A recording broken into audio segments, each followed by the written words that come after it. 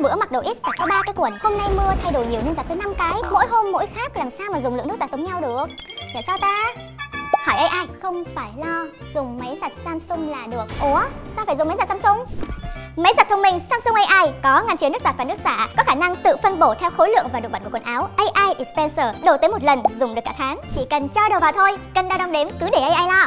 Nắp đậy kín như bưng, để lâu cũng không lo bay mùi, đồ giặt xong lúc nào cũng thơm tho. Có cả bàn điều khiển AI Control luôn ghi nhớ sở thích của mình hay dùng chương trình nào, mở máy lên là chúng ta đã có thể lưu sẵn chương trình đó cho chọn luôn, đỡ phải tìm kiếm.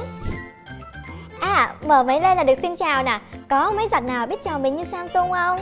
Bộ quả cao ra thấy máy xài công nghệ giặt Eco Bubble là đánh tan với cái nước giặt thành bọt bong bóng phồng phồng mộng mơ đồ đó. Làm vậy nước giặt sẽ thấm vào quần áo nhanh hơn, giặt sạch hơn, đồ còn đẹp và bền màu hơn nữa. Đúng nhận, sai cãi Lúc này máy đang giặt nè, nghe thử nha. Đó, em ru luôn. Động cơ Digital Injector bảo hành 20 năm. Tầm đó thì con cái lớn hết rồi thì mới lo máy giặt hỏng.